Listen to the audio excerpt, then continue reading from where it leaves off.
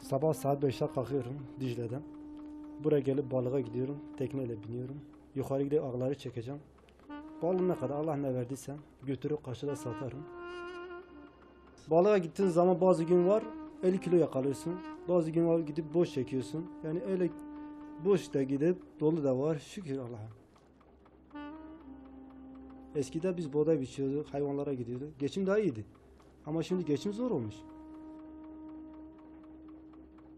Bir gün balığa gitmeden ertesi gün aç kalırsın.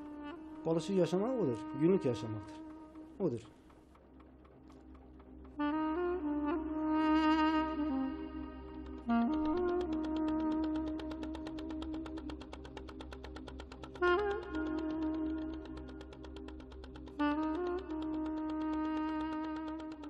Dicle'nin suyu, kıyıdan kıyıya uzanan her yolculuk gibi tarihin bir ummandan başka bir ummana akışına benzer.